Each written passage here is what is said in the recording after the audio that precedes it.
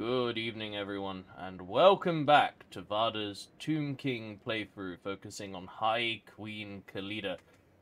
In the last episode, we struck back against the dwarves, defeating a couple of their major armies. However, we are now at war with Kroq-Gar, and that means that our western flank is under threat. However.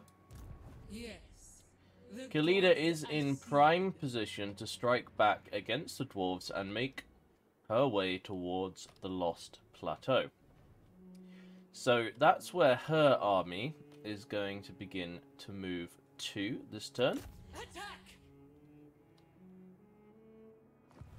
We're going to occupy Granite Massif, Strike and if they attack us, we'll deal with those orcs and their rebellion next turn. We are one turn away from finishing recruitment on King Jenna and moving him across to try and deal with Kroq-Gar. I don't think he stands much of a chance, but well, I'm not just going to roll over and give my territory away for free now, am I?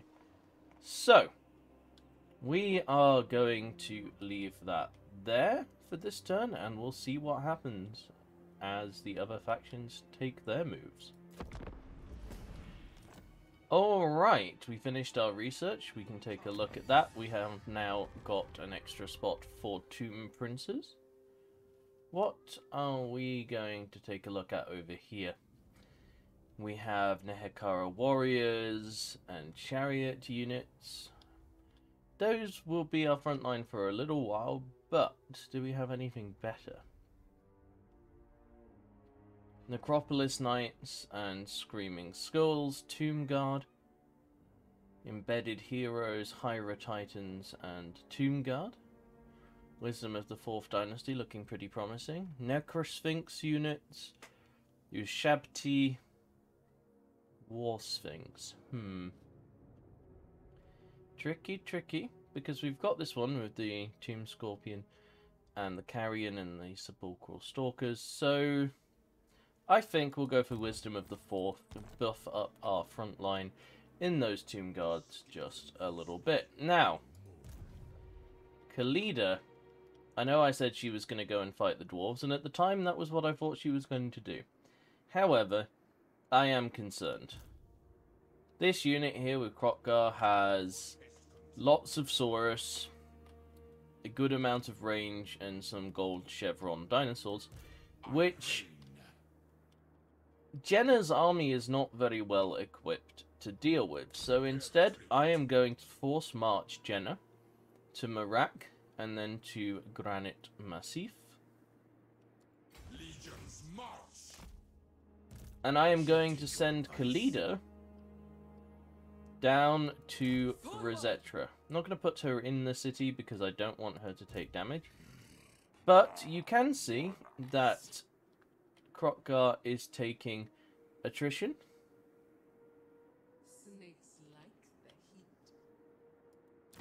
And if we wanted to and we had the money, we could double that attrition. But I'm I'm not too worried about that right now. We're going to upgrade Marak. We're going to try and get some more money from our other territories. Because right now, as is the want of the Tomb Kings, we're not making very much cash at all. Got a couple of Skaven heroes running around, which is annoying. Because I would very much like them to not assassinate my things. And we have a War targeted towards the Misty Mountain. Which is why it is glowing green, I believe. I'm not sure which orc has declared that war, but that's interesting. We'll have to watch out. We might have some rampaging orcs on our border very shortly. Our friend Visus Gobspit, who I was thinking about eradicating, has decided that he is going to try and resurrect, or at least uh, reconsolidate Orcish presence in these mountains. And so I think we'll let him wreak havoc on the dwarves for a little while longer before we take any actions against him and his forces. Let's see what Kroq-Gar does. Alright, Kroq-Gar besieged Rosetra. I have High Queen Khalida there, and I think that means that we are just going to declare battle. It says Pyrrhic victory. Now, looking at this, there's a lot of Saurus warriors. That means our front line is going to struggle to hold up, especially with a weaker Lich Priest than we had previously. But we have our Sepulchral Stalkers, we have our Cavalry, our Tomb Scorpion, our Necrotect. I'm feeling pretty good that if we focus fire the archers correctly onto the Stegodon, take out the heroes with ranged power, that we will be able to put a dent in their forces. So, let's time. Let's get skeletons on the ground.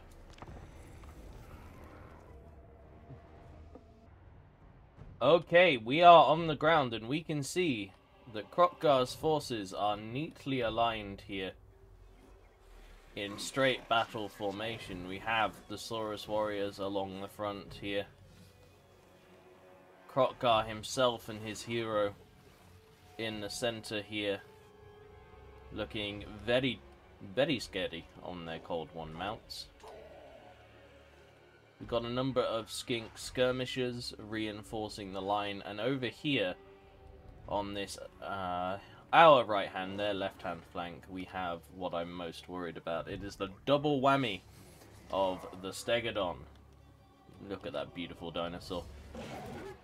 And the Cold One riders. I don't think these are Horned One riders. Let's take a quick look.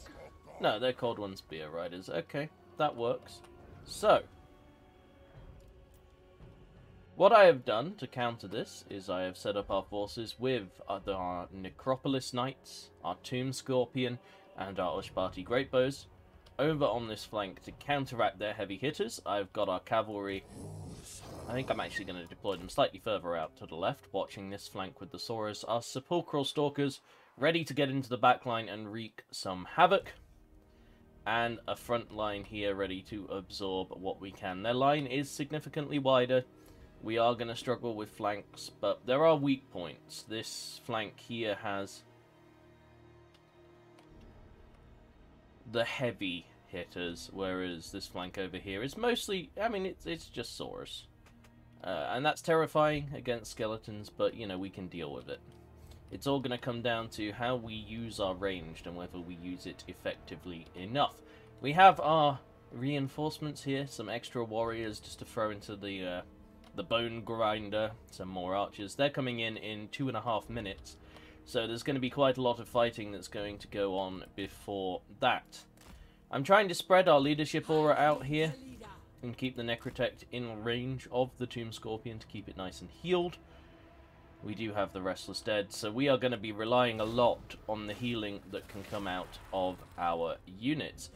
I'm hoping, against hope, that Kroq-Gar decides to be very passive. Because if he decides to be very passive, we can speed this up and I can expand our line. And that looks like what he's doing. So for now, I'm going to hit the times 3 button and we'll resume either when our reinforcements get here or something else happens.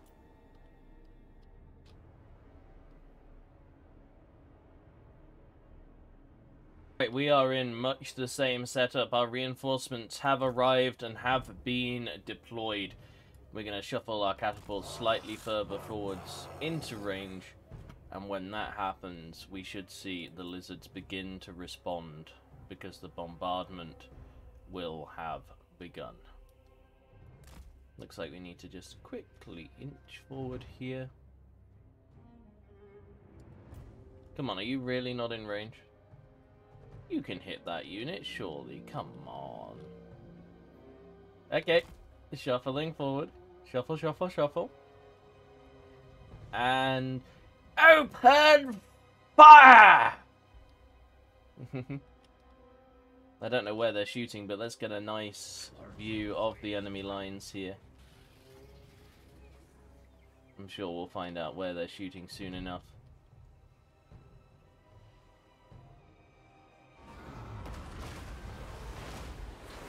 Oh, very nice. Jibbed a few of them this time. Again, it's not necessarily about doing much damage uh, with the artillery, although the more of it we do, the better. This is about goading them into giving up their defensive line so that we can begin to maneuver forces around the outside.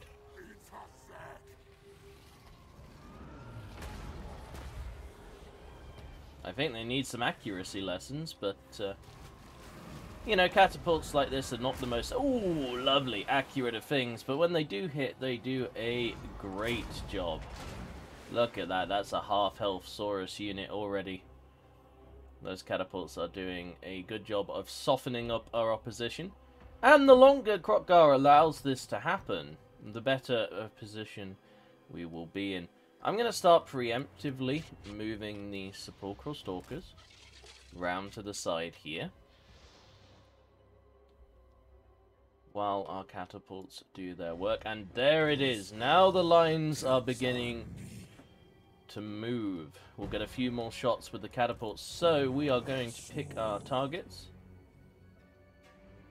as the Blessed Saurus Warriors for now, now that they are in range.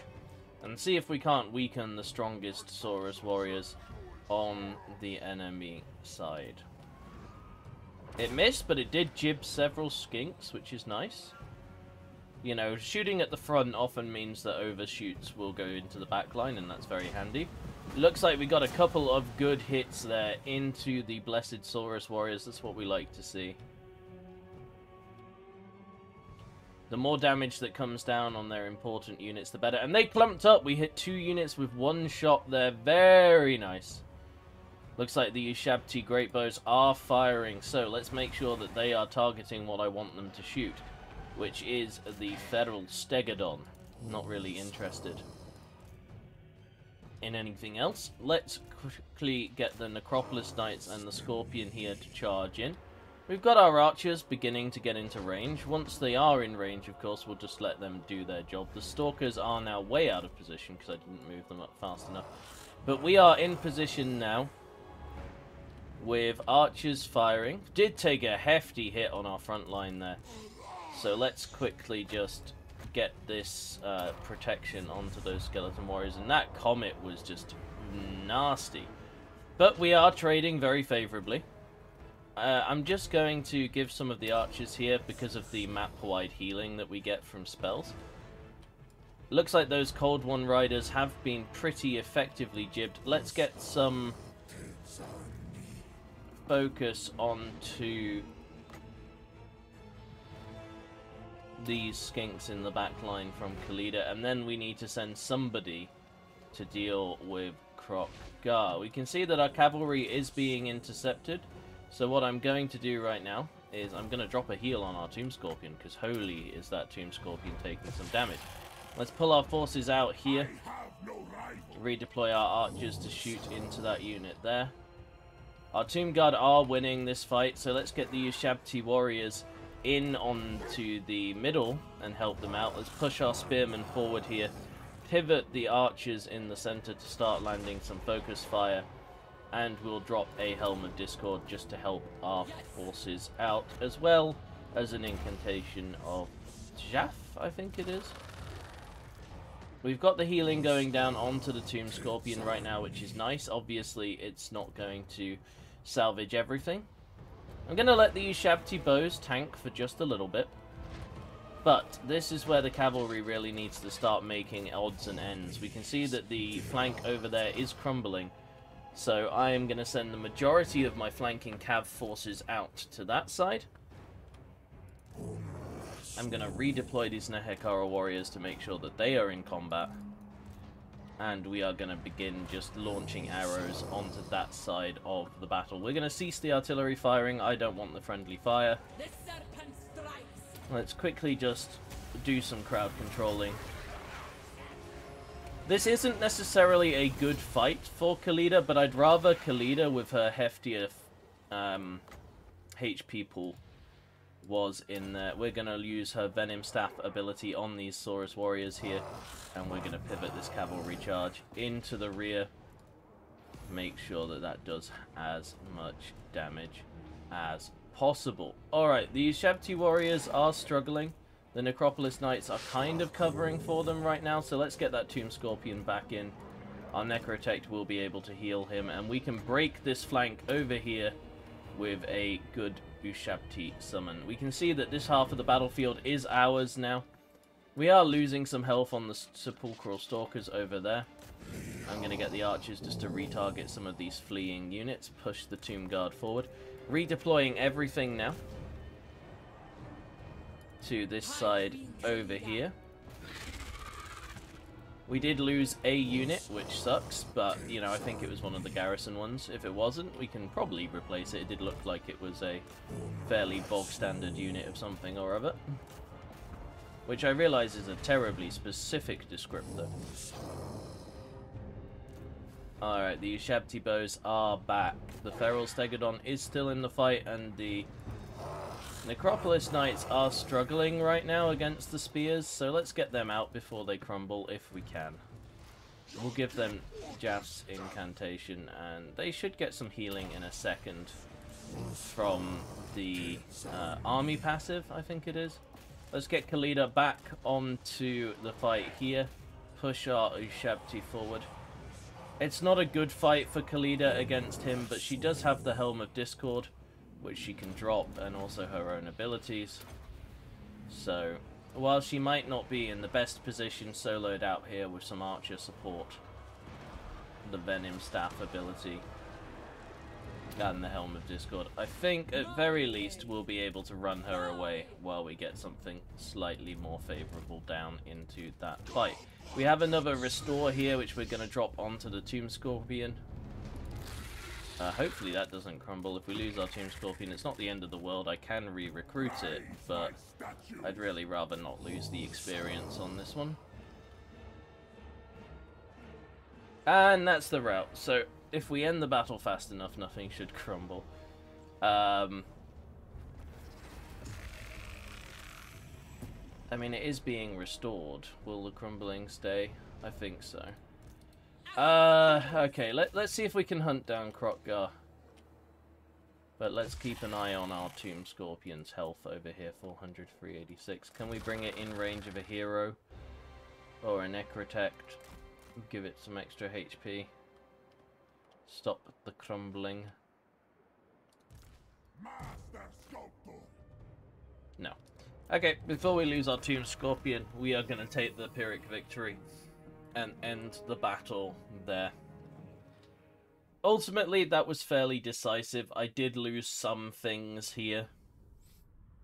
But the nice thing about the Tomb Kings is it doesn't cost you anything as long as you have the buildings. So we should be able to recover from that battle very nicely indeed.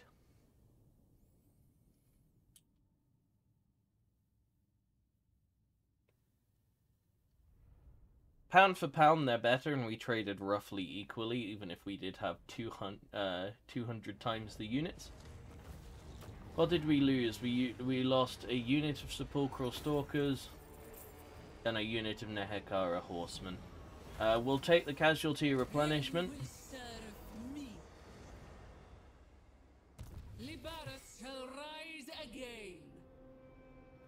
And then because we can, we'll get some more stuff back in a moment.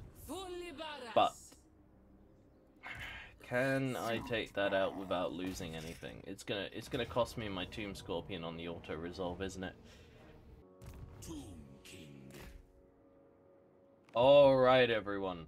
I played out the battle, the, the decisive victory against Kroq-Gar, and basically my archers shot him, he ran away, we didn't lose the Tomb Scorpion.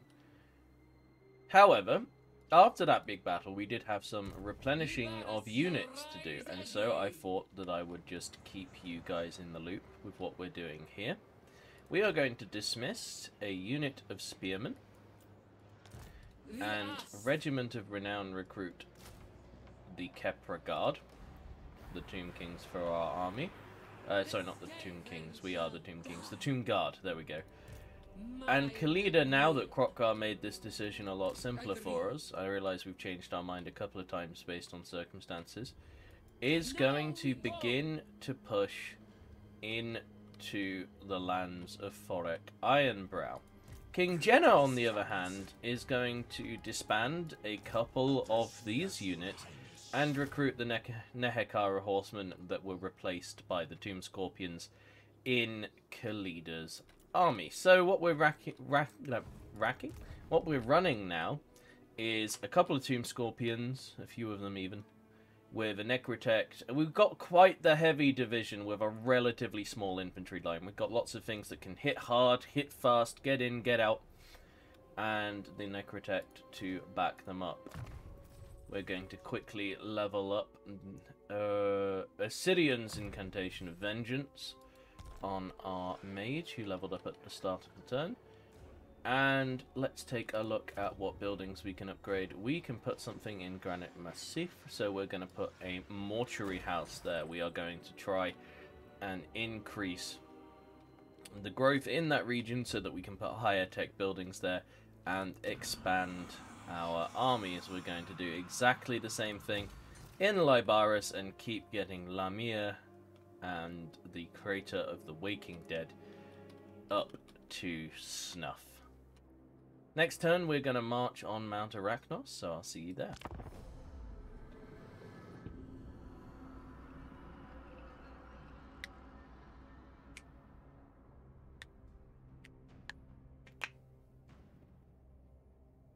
I have no interest in you, creature.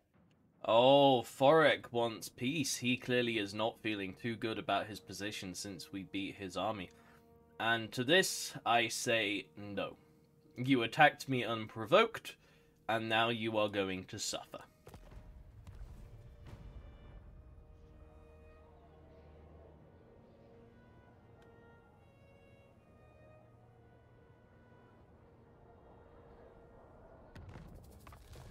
Okay, at the start of the turn, we can see that this orc is still walking around in my lands. I'm not overly fond of it, but I'll allow it for now. We're going to keep marching our way towards Camp Arachnos, and we can see that they have a very small army, so we should be able to deal with that if that doesn't improve. Same as last time, going to drop some upgrades into our growth buildings. And in Rosetra, because we don't have one already, I am going to build a Charnel Plaza. It's an income building that also gives us extra movement speed so that we can catch up with any of those pesky armies that decide to give us a run around in our own territories. Let's see how Kroq-Gar is feeling. He probably doesn't want a peace treaty. Uh, he's pretty close to it, but no, he doesn't want one right now, so we can't just uh, say, look, we had a spat, can we move on? Uh, I like the lizards. I'm a lizard man player on tabletop, or Seraphon as they're now called. Uh, so, you know, I might have been lenient in my benevolence, but uh, they don't want it, so we won't give it to them.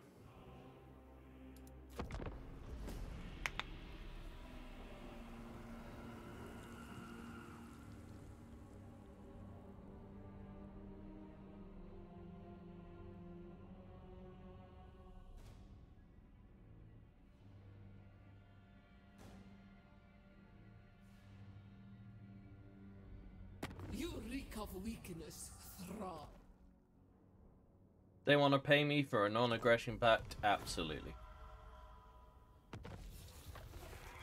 300 gold for not attacking an army I wasn't going to attack anyway? Sure thing. Let's take a look at Forex army. It's pretty weak, but there are two of them, and I'm not sure that on our own we would be able to take that out. So let's see if we can split them up.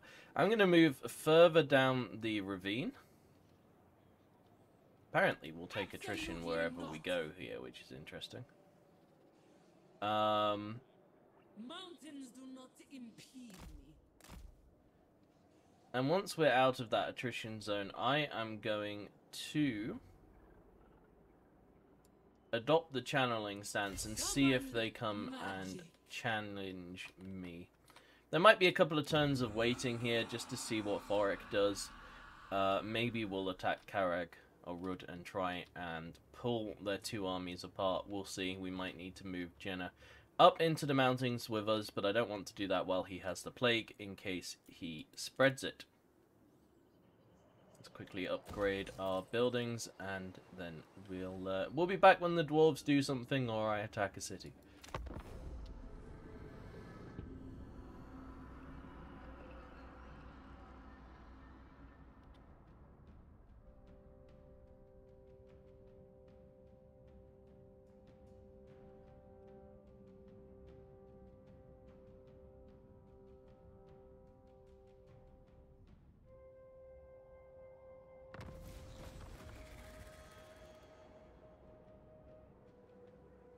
Okay, it looks like Forek is moving out of his city, so we instead of attacking uh, Karag Orrud, we are going to drop into ambush stance in this choke point and see if we can ambush his army.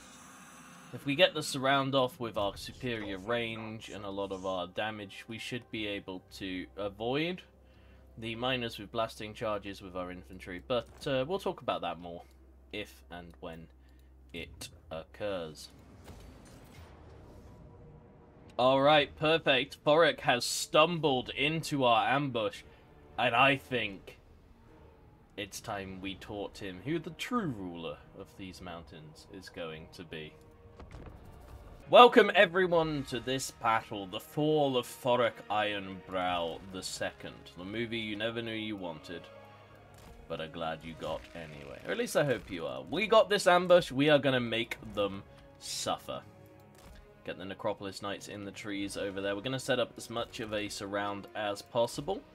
Uh, we want to hit the archers, and they're all nicely clumped, which is why the Tomb Scorpions are out the back. I'm going to hide our Necrotect in the trees over here, so that he can launch some restores onto the Tomb Scorpions if necessary. We're going to deploy our archers in the trees so that they can immediately begin shooting, and the reason we've got this Tomb Scorpion here is so that he can get into the miners with the blasting charges and keep them from connecting with our squishy infantry underbelly. The Ushabti Great Bows are going to come up here so that they can kind of strafe the army a little bit as are the catapults and the Ushabti and Khalida are going to take a position here just so that they can come down and block any attempts at escape. Alright, relatively straightforward battle plan. Let's get to it. Before the archers can split up, we're wanting to get as many of them in as possible and onto the ones with the blasting charges. We're going to get the Sepulchral Stalkers focusing in on this line here. We can see that the catapults are already finding some of the enemy. This is wonderful news. Oh, good lord, look at the damage. The friendly fire from those blasting charges just ripped the Quarrelers apart. We'll deploy some of our infantry now. Khalida is going to come down onto Forek. The Shabti are going to go and take on the Slayers. It's a bad fight for them. Um, so we will deploy some archers to hit that position there. And we'll get some archers firing into this blob in the middle. Now, we are going to put the incantation of defense on the low health Tomb Scorpion. And we can see that the Dwarf Warriors have engaged the Sepulchral Stalkers in combat. And that's not a good fight for the Dwarf Warriors, really. We'll put them on melee mode for the time being. We'll get our infantry in to reinforce the Tomb uh, Scorpion there. I don't think the Ushabti need to uh, receive much help from the archers here, but we're going to keep them getting that help just for a moment because I don't want to lose the Ushabti. Now, over here, we can see that the Tomb Scorpions are doing a jolly good job of routing the Quarrelers. We're going to want to keep an eye on those rallying. And we have the great clash of leaders. That should be a pretty good time for us. I'll see if I can get some close-ups of that when I'm more confident that the battle is going in our favour. Looks like we are going to lose the Ushabti over here. I hope not. I hope I can rally them to some leadership in time. Let's get this guy up here, but I'm not sure I can. We're not taking losses, that's the problem, so we're not getting much of our healing. Alright, they have pulled back, they are slowly crumbling, but they've got some HP left. And we have some archers and a lord here just firing into these uh, and a uh, and a uh, wizard here just to keep them around nice and high. We've rallied them a little bit with that cast. The catapults are going in. Again, we can't break them, and I'm not sure I should commit them into this fight with the Ushabti. I'm just kind of hoping that we can carve apart the Unbreakable Slayers nice and quick. Alright, over here we are going to deploy the Necrotect towards the fight. We're going to make sure that the Tomb Scorpions here aren't like uh, too disparately spread. But I think that in a moment what we're going to see is the mass rout. And I will be glad to see it. Oh no. Nope, nope, stop firing, stop firing, you're way too close. Uh, let's get the Nehekhara warriors into the Quarrelers over here. Again, we're sort of deploying units just to keep the routes from happening. We don't want any focus from the Dwarven Quarrelers to result in massive damage or anything like that. Got the Tomb Scorpions just keeping their work done here. And I think we can now have a look at this duel between Khalida and Thorek. Thorek being carried in the manner of many great dwarves by his bodyguard. That was a big smackback onto Khalida there. Looks like some arrows are coming in. Our archers have decided that they want to help this duel. And we can see the magic of the Vedim staff blasting at the Dwarven leader. In fact, it looks like some Sepulchral Stalkers may be offering some fire as well, but that's alright. I'm not here to play fair, I'm here to kill a dwarf. And that is it, that is the victory. The dwarves are well and truly routed today.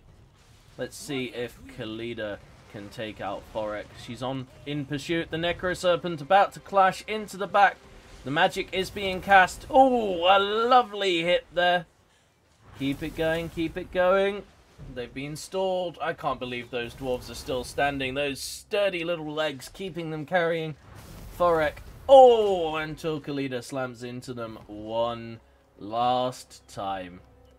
A tremendous victory for the Tomb Kings here. I don't know if we need to mop them up because it was a um, an ambush battle, but I'm just going to quickly times three and mop them up. I'll see you on the campaign map.